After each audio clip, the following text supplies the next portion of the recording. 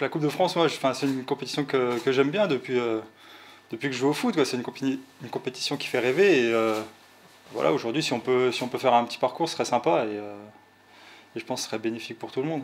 Voilà, on va essayer de, passer les tours sans se prendre la tête. Et comme on fait en championnat, on prend ça comme un match.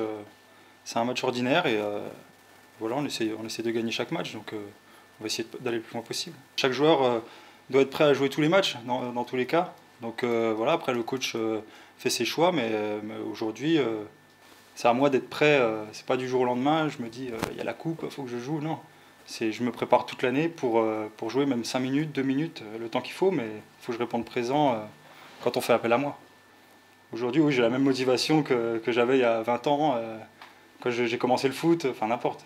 Là, je suis, je suis, toujours heureux d'être sur le terrain et, c'est un bonheur, que ce soit à l'entraînement ou en match ou même dans la tribune aider les, copains. Enfin, c'est vraiment un bonheur. Bah, bien sûr, après, on essaye voilà, l'entraînement de, de, tout donner euh, pour qu'il n'y ait aucun relâchement possible.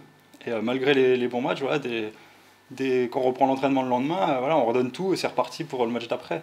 Donc voilà, on essaie de tout donner à chaque entraînement. Dès qu'on met le pied sur le terrain, on donne tout. Et puis voilà, après, les performances suivent aujourd'hui et, on est très content si, euh, si l'un fait un bon match, l'autre est content, enfin, etc. Donc euh, franchement, on, s'emmène, euh, on, essaie de se tirer le plus possible vers le haut.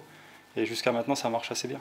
Franchement, c'est, vraiment un bonheur d'être à l'entraînement tous les jours avec, avec tous ces joueurs. Et franchement, et tout le staff, c'est, vraiment un bonheur au quotidien. Donc voilà, il faut essayer de, de surfer là-dessus et d'aller le plus loin possible dans les deux compétitions.